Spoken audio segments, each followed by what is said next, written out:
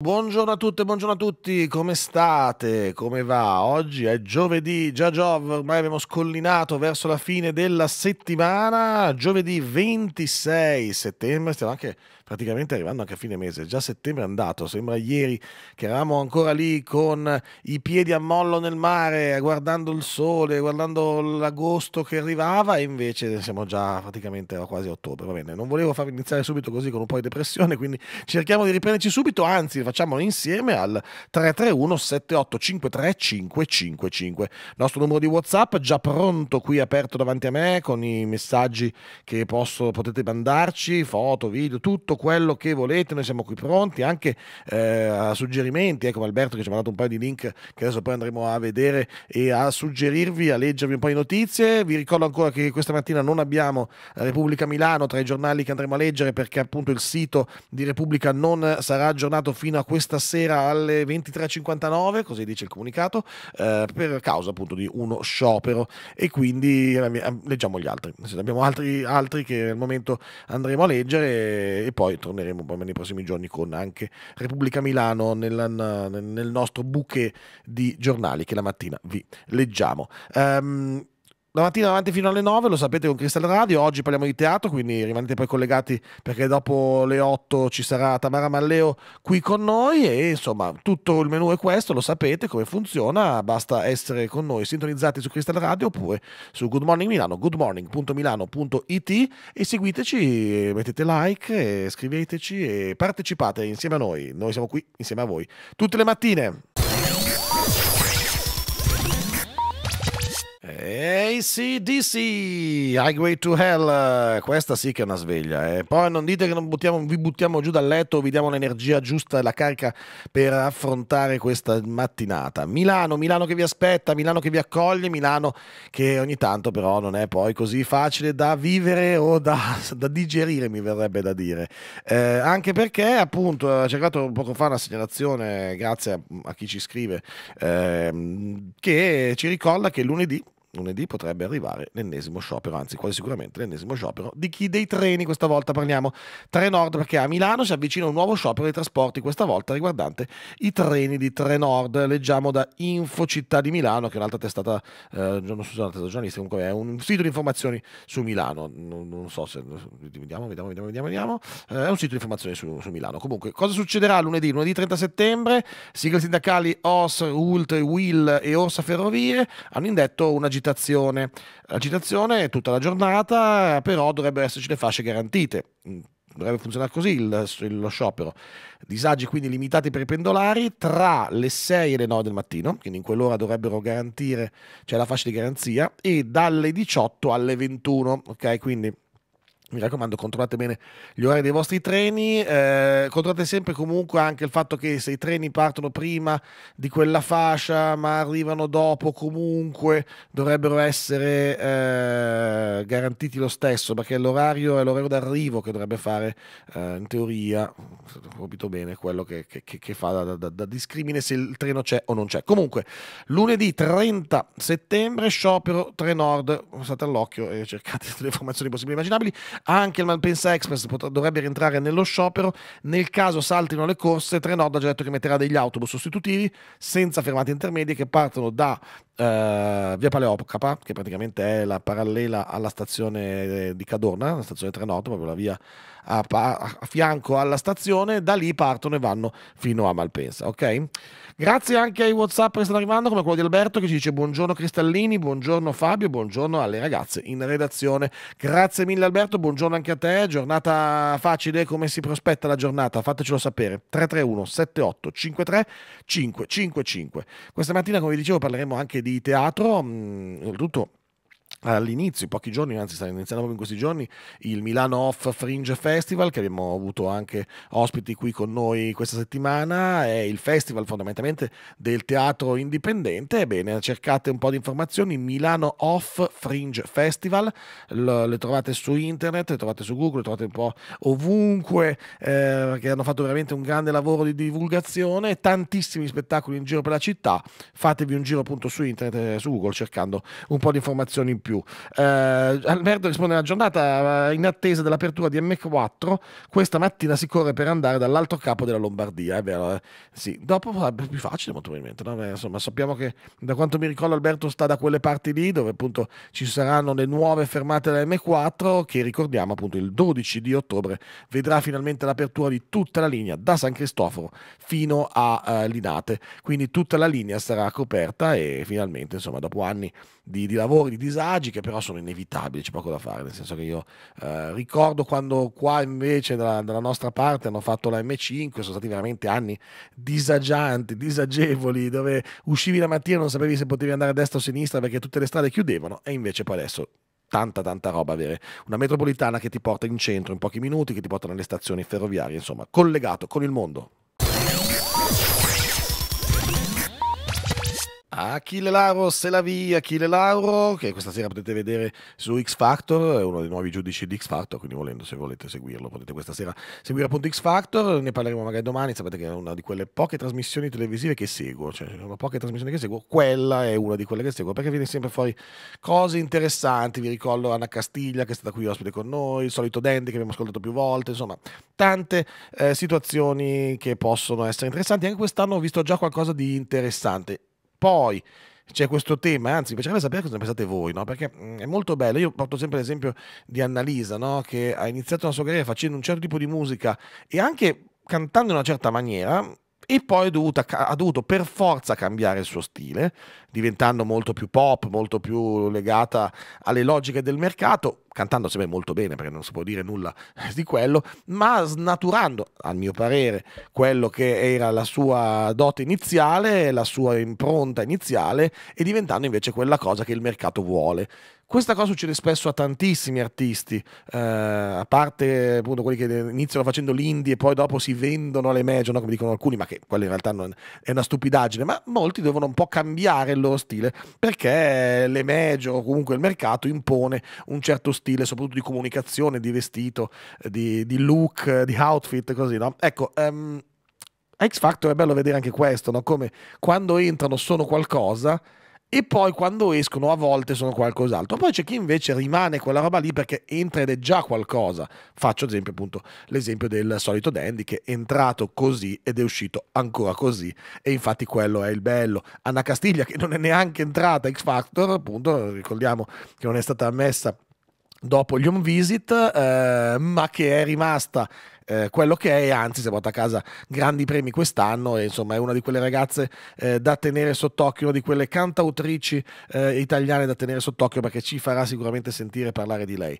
Voi cosa ne pensate appunto? Come vivete questi programmi? Semplicemente guardandoli appunto come forse sarebbe meglio fare, facendoci una canticchiata o così analitic- analiticamente come fa il sottoscritto che insomma forse anzi è meglio non mettersi sul divano di fianco a me mentre si guarda X Factor che comincio a, a fare troppo il criticone su tutto tutto? Beh, fatemelo sapere, 331 78 53 555, il nostro numero di WhatsApp, aperto anche per le condivisioni o per quello che appunto state facendo in questa giornata, anche per rispondere al un po', e dopo ne vediamo un po' di alcune risposte che sono arrivate, a quello che ha detto ieri Vittorio Feltri, ad esempio, parlando di Milano, ha detto i ciclisti mi piacciono solo quando vengono investiti. Ecco, questa è l'uscita di un sommo giornalista come lui che forse sarebbe arrivata l'ora di mettersi un po' da parte parte magari così. Tanto i soldi ce li ha signor Feltri, nel senso si mette lì tranquillo con la sua copertina oppure va dal mare così fa caldo e si ritira un attimino. Perché insomma queste uscite sono veramente, veramente gravi. Infatti il PD ad esempio ha detto c'è un limite alla decenza, si dimetta, si dimetta da cosa? Da consigliere regionale, perché ricordiamo che Vittorio Feltri, oltre ad essere un giornalista, è anche consigliere regionale in quota Fratelli d'Italia. Sono stati tanti appunto quelli che eh, hanno gridato allo scandalo direi forse anche giustamente, ma mi piacciono solo quando vengono investiti. E insomma, è una mh, mm, frase un po' forte, oltretutto eh, scritta, eh, dal, scritta sul giornale, appunto, durante il suo editoriale, perché il direttore editoriale del giornale, appunto, dice: Mi danno fastidio le piste ciclabili e il caro affitti non mi interessa, io vivo nella mia casa. Insomma, questa è un po' quella leggera arroganza, mi verrebbe da dire, che mh, mm, capiamo essere magari a volte una provocazione, ma a volte forse è un po' troppo esagerata, e quindi, insomma. Eh? Vedete voi, vedete voi, alla voi l'ardua sentenza. E alle 8.12 torniamo qui in diretta su Crystal Radio Good Morning Milano. Il giovedì è il giorno del teatro e ovviamente è sempre coadiovato dai bravissimi e bellissimi eh, suggerimenti che ci dà la nostra Tamara Malleo. Buongiorno Tamara!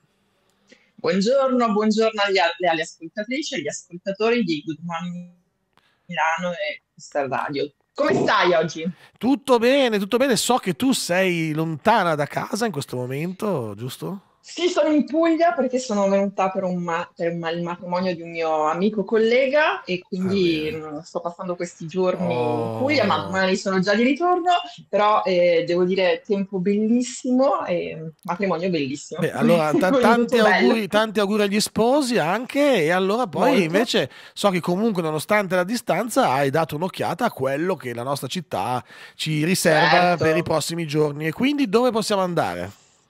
Siamo prontissimi e prontissime eh, per ehm, raccontarvi, mm, uso il plurale perché mm, in realtà il teatro è fatto da tante voci, da tante eh, mm, appunto sguardi e noi allora partiamo con, ah, come, come abbiamo, come abbiamo già detto nelle precedenti puntate, eh, il- la- le stagioni te- teatrali ufficiali partono a metà ottobre, ma Milano chiaramente si propone eh, con eh, um, assolutamente degli appuntamenti imperdibili. Allora, partiamo da Aprecu. Aprecu si trova ormai è un luogo che Eh sì, ripeto sì, sì, si ormai trova è... in Porta Romana, in Via della Braida.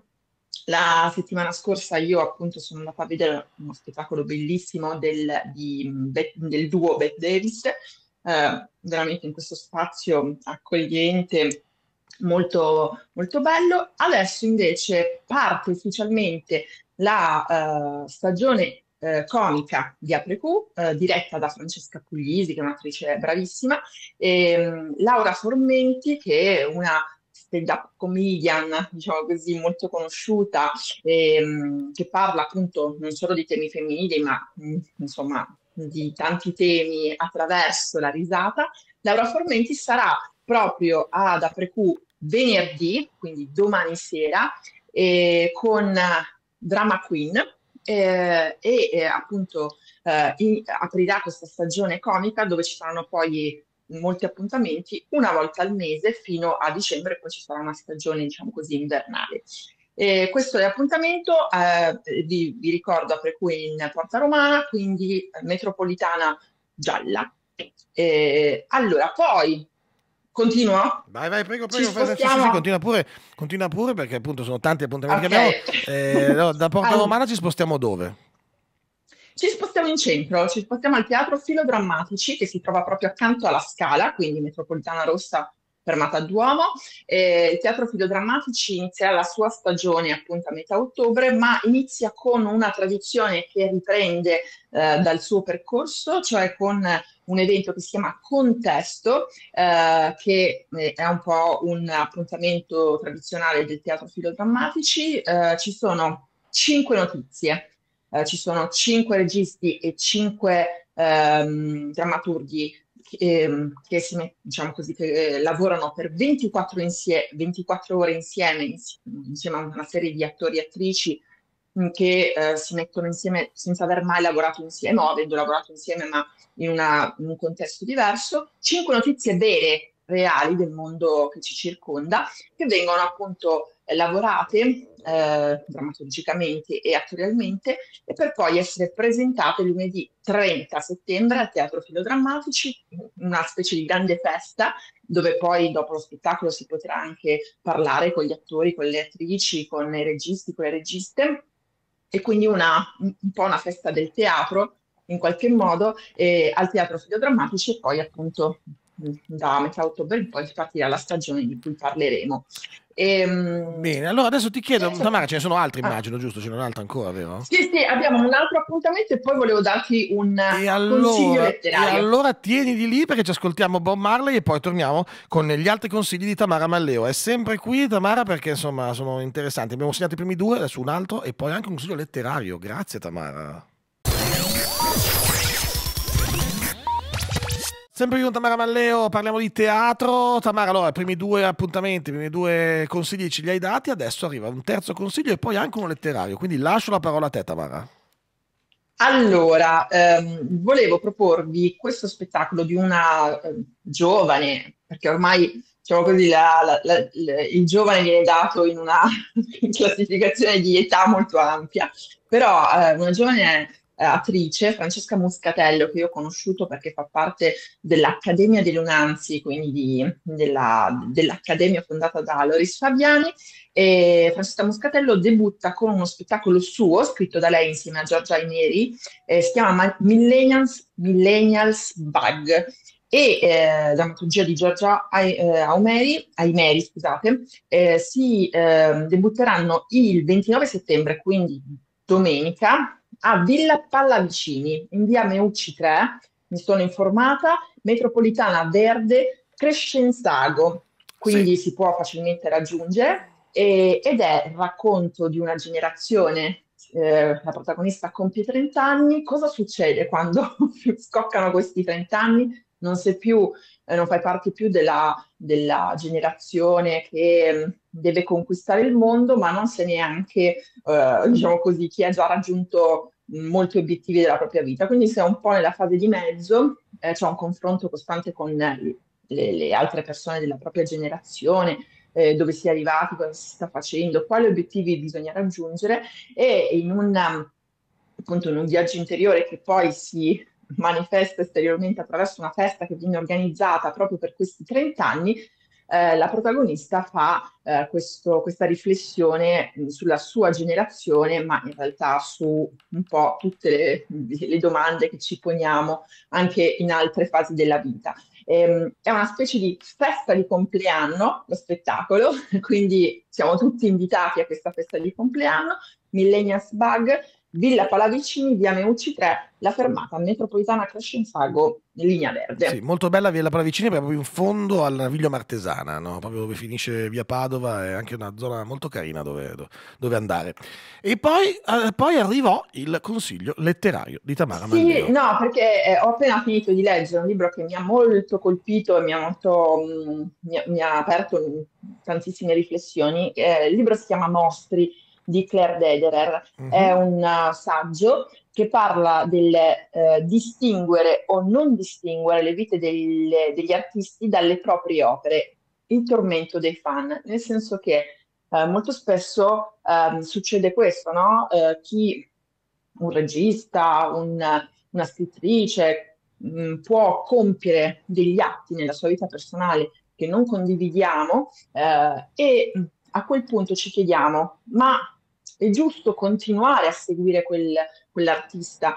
Eh, cosa si crea in noi eh, nel approcciarci ad una persona che, con cui non condividiamo dei principi, eh, il, il modo in cui si sono comportati nella loro vita reale. Le loro opere sono comunque qualcosa di separato dalle loro vite o quelle opere in qualche modo hanno dentro eh, di sé eh, parte di quello che hanno fatto. Uh, ci sono personaggi molto diversi in questo, in questo viaggio compiuto da Claire Dederer che uh, dentro, diciamo, dentro questo viaggio ci sono molte riflessioni personali, quindi c'è proprio una riflessione su ciò che accade alla, all'autrice quando uh, si confronta con i grandi miti che, che, lei ha, stiamo parlando di non so, Woody Allen, di Roman Polanski, ma anche di tantissime donne, quindi non soltanto uomini, mm, Virginia Woolf, ehm, la Rowling, insomma, tantissimi personaggi, secondo me è un, un, diciamo, un approccio interessante e critico nei confronti di, una, di, un tema che è molto attuale, ehm, eh, che è tornato alla, alla ribalta anche con Alice Murro. Um, secondo me bisogna riflettere sul tema, non ci sono risposte, questo è, è un saggio che non pone, pone, tante domande, ma non dà risposte come i migliori saggi, ehm, però secondo me capire mm, che cosa, uh, come ci relazioniamo con le opere di chi uh, compie delle azioni che non condividiamo può essere un interessante mm. viaggio molto, molto, molto interessante. Poi sì, insomma, siamo troppo abituati anche ad avere le risposte e mai a porci le domande. Quindi invece esatto. è una, una, un interessante esatto. spunto questo, Tamara. Tamara, grazie mille. Siamo in chiusura, non prima però di ricordarci dove possiamo approfondire invece la conoscenza con te. Allora, eh, diciamo così. Suonava uh, male, devo dire che suonava un po' male, detta così, effettivamente. Però dici no. dove possiamo seguirti, Tamara. mio, l'appuntamento con Teatro Mania, eh, che è l'abitudine del teatro in altre forme, eh, canale 191 del digitale il venerdì alle 16.40 ancora per, per questa settimana e poi cambieremo orario e poi il lunedì su Antenna 3 canale 11 alle 23.30. E allora grazie mille Tamara, buona grazie. giornata, buona Puglia e ci si rivede settimana prossima da Milano, giusto? Certo, sì, allora... assolutamente, vi, vi aspetto. Grazie, grazie mille Tamara, avanti con un po' di musica adesso. I fratelli Jonas, uh, The Jonas Brother uh, con Sucker alle 8.35 minuti qui su Crystal Radio. Good morning Milano. Allora, uh, ho aperto un po' di giornali così per, fare una rassegna veloce dei titoli che ci sono appunto quest'oggi in edicola e soprattutto sui siti online. ad esempio, leggo da Milano Today usci- l'uscita di Sala dopo l'attacco di La Russa che diceva tutta colpa del comune se la Champions Champions, se la UEFA ha ritirato la, la, Champions, la finale di Champions League del 2025, 2027 scusate, da, mm, da San Siro. Sala è tornato sul tema, ha detto guarda che qui se qualcuno ha fallito hanno fallito tutti, eh, non si può, eh, nessuno può garantire che non ci siano lavori in quel periodo, quindi questo dice Salice, non possiamo garantire che nel 2027 non ci siano dei lavori in quel momento. quindi la UEFA ha detto, bene, se non ci sono garanzie, allora via, togliamo, togliamo la, la, la, finale a Milano. Ma soprattutto Sala dice una cosa, se i club se ne vanno, da Milano e da San Siro, venderemo lo stadio. Bene, cioè dopo 4-5 anni eh, siamo arrivati di nuovo a questa conclusione che ripeto, secondo me è un'opzione bellissima perché secondo me, ripeto, e la, la, prova è non secondo me in questo caso, ma che in altre parti del mondo sia successo, ci sono dei player, come vengono definiti in questo caso, internazionali che sono ben predisposti nel comprarsi una struttura con al momento 80.000 posti a sedere, magari diventano 60.000, va bene ma con così tanta capienza, così tanta volumetria, così tanta possibilità di eh, usarlo anche per fare altro. Ecco, quindi eh, non necessariamente lo stadio di San Siro deve rimanere lo stadio del calcio a quel punto, può diventare la più grande eh, location per concerti, spettacoli di un certo livello, cioè capite che se voi lo ristrutturate un attimino, e, e quando dico un attimino le prove ci sono che si può fare, lo si chiude, lo si fa col tetto apribile o chiudibile come volete, fisso, non fisso, mobile, non mobile, eh, levatoio, non levatoio, eh, lì dentro, cioè il Cirque du Soleil si mette sta, pianta stabile un anno a fare spettacoli dentro, capite? Capite che arrivano i grandi musical che fanno fatica a venire in Italia, tipo quelli che andiamo a vederci ad Amburgo o a Londra?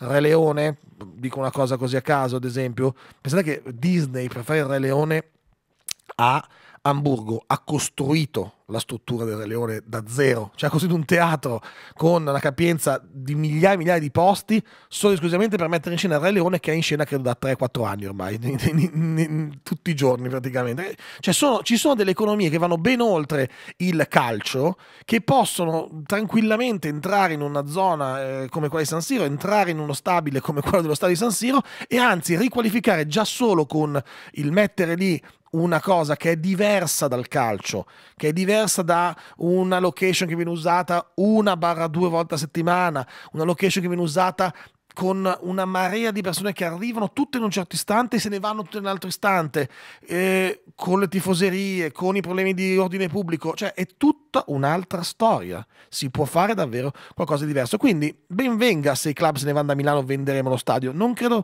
minimamente che Milano rimanga col cerino in mano, come si in questi casi, rimane invece con un immobile che ovviamente non varrà più i miliardi, miliardi che poteva valere qualche anno fa, ma che comunque vale ancora tanto, vale soprattutto per il potenziale che hai, quindi quando tu lo vendi, lo vendi anche pensando di ragazzi, ma sappiate che voi, io ve lo vendo, ma voi farete milioni e milioni di euro con quella roba lì, quindi pagatecelo il giusto prezzo.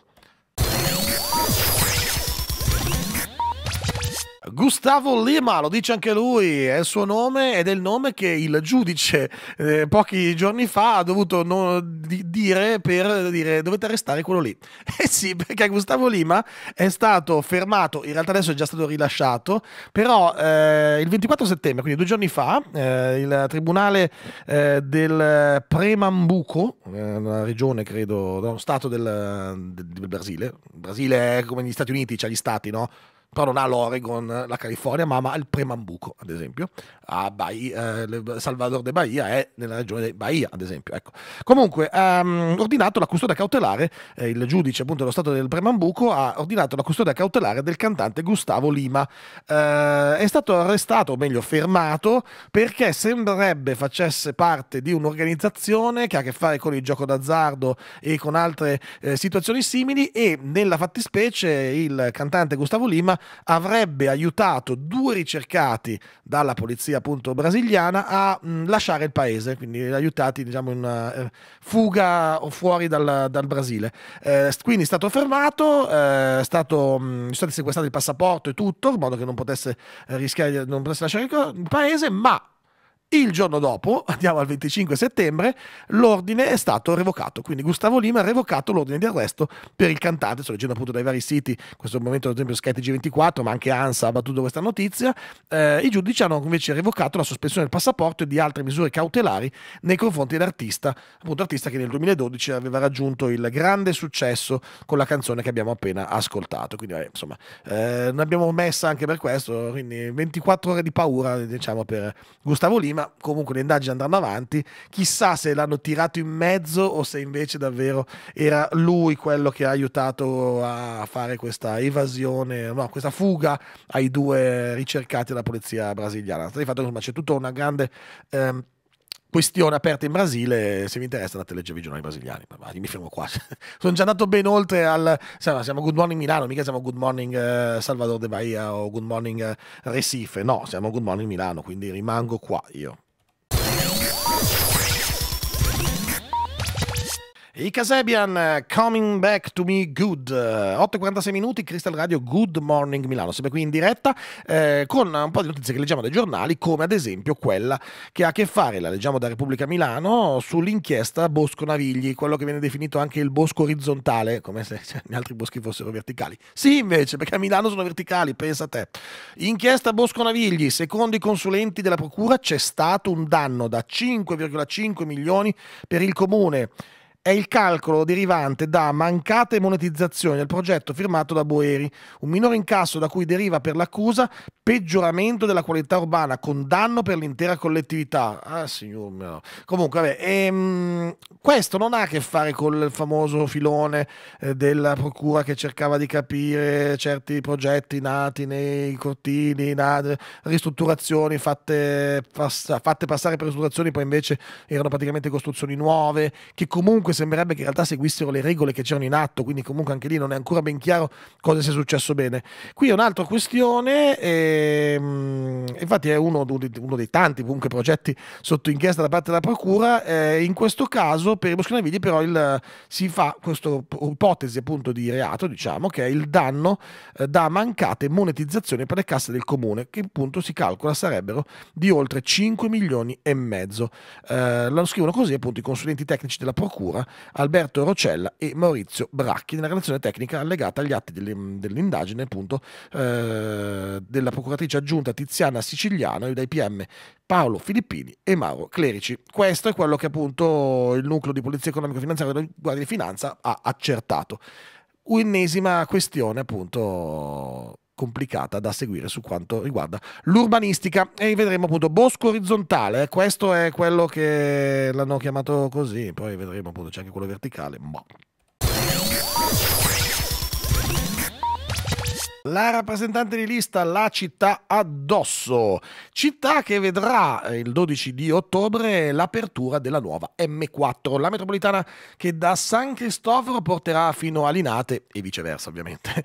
Eh, cosa succederà però? Su Milano Today c'è un bel articolo nella sezione I dettagli, viene inserito come sottotitolo, perché apre la M4 fino a San Cristoforo tutte le modifiche ai bus. Presentata la rimodulazione dei mezzi, non ci sono tagli navigli sulle linee urbane, alcuni bus come la 95 prolungati invece per connettersi alla M4. Torna anche la circolare sulla cerchia dei navigli. Eh sì, perché torna a circolare sulla cerchia dei navigli, circolare cerchia dei navigli. Eh? Circolare, cerchia dei. Tra le novità appunto più rilevanti torna il bus circolare della cerchia dei navigli, ovvero la circolazione più interna che nella tratta sud è percorsa appunto dalla nuova tratta di M4. Le linee si chiameranno 96 e 97 e percorreranno la cerchia da Cadorna a Cadorna sostituendo l'attuale 94 che non è più da tempo una circolare. La tratta nord della circonvallazione, dove non c'è la M4, insieme alla 96-97 sarà rinforzata anche dalla linea 84. Diversamente la 85 invece sarà accorciata a Cadorna in quanto il resto del suo percorso sarà preso in carico dalla nuova circolare. Quindi finalmente ci sarà proprio di nuovo una circolare completa che fa tutta il cerchio dei navigli. I tram non vengono toccate, le linee dei tram sugli assi Lorenteggio e Giambellino, eh, si trattava della valutazione variazione più temuta, invece la variazione più temuta dai numerosi abitanti, no, per adesso appunto tutto a posto, sia sull'asse Lorenteggio che Giambellino rimangono appunto le linee dei tram. La 95 invece si allunga un attimino perché connetterà, andrà avanti fino a San Cristoforo quindi non si fermerà più nel quartiere Barona, ma tirerà fino a San Cristoforo. 8 e 56 minuti, finisce in questo istante la puntata di oggi, giovedì 26 settembre di Good Morning Milano. Prima di salutarvi voglio ringraziare anche chi ci ha scritto al 331 7853 555, grazie a Alberto, grazie a Nello, grazie a Adriana, grazie a Erika, grazie a Marco, grazie a Pietro, grazie a Luisa, eh, tantissima gente veramente questa mattina ci ha scritto, grazie a tutti per i vostri Whatsapp.